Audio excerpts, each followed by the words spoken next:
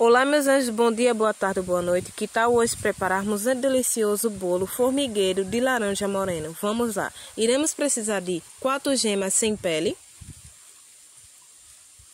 4 colheres de sopa de manteiga derretida, uma xícara de chá com açúcar, uma xícara de chá de suco de laranja sem água, 3 xícaras de chá de misturinha formigueiro para bolo. A receita está aqui na descrição para vocês conferirem quatro claras batidas em ponto de neve, uma vasilha para você fazer a misturinha do bolo e também uma colher para misturar. E uma forma untada com manteiga e polvilhada com farinha de trigo. Agora, adicione a manteiga e a clara.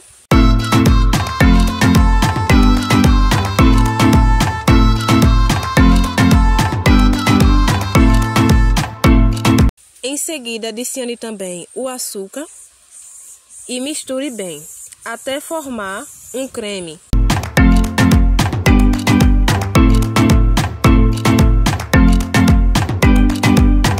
O creme deve ficar assim desta maneira. Agora, vocês irão adicionar um pouco só do suco de laranja irão misturar novamente e deixar virar um creme bem fininho.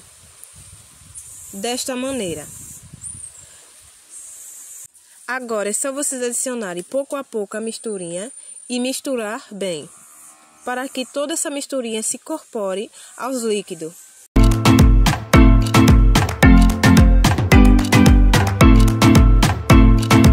Deixe ficar desta maneira. Vá misturando bem. Em seguida, adicione metade do suco. Misture novamente. Deste modo que estou misturando. Deve ficar desta maneira. Agora, adicione mais um pouco da metade da misturinha. Misture bem novamente.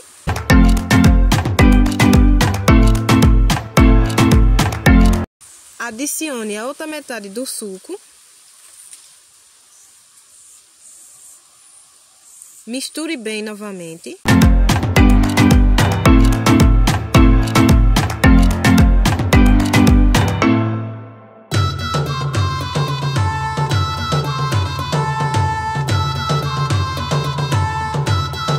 Adicione também a outra metade do suco e o resto da misturinha que sobrou. Misture bem para que se incorpore toda essa misturinha ao restante da massa.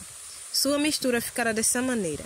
Se ficar assim, é só vocês em seguida adicionar mais dois dedinhos de suco de laranja, misturar bem para que a massa fique dessa maneira. Misture bem mesmo para que a cor do granulado solte e se incorpore a massa para que fique bem moreninha. Agora é só vocês adicionarem todas as claras.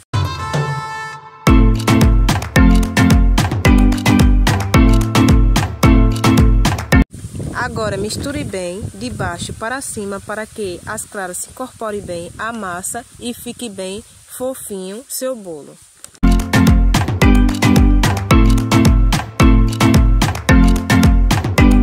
E sua massa deve ficar desta maneira, bem homogênea e cremosa. Não adicione muito suco para não ficar muito mole. Agora é só vocês adicionarem na forma.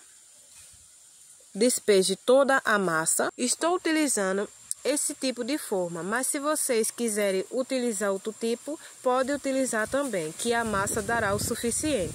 Agora é só vocês levarem para assar em forno pré-aquecido de 180 graus Celsius por apenas 40 minutos, ou até que você espete um palito saia limpo ou também que seu bolo dore. E aqui está o resultado: seu bolo fica bem fofinho, se desmanchando facilmente e também bem saboroso. Espero que você goste dessa receitinha, façam em casa, degustem bastante e também deixarei aqui embaixo na descrição a quantidade e os ingredientes para vocês conferirem e outras diquinhas também. Imensos abraços, fiquem todos com Deus e até o próximo trabalhinho aqui do Cantinho Fênix Variedades.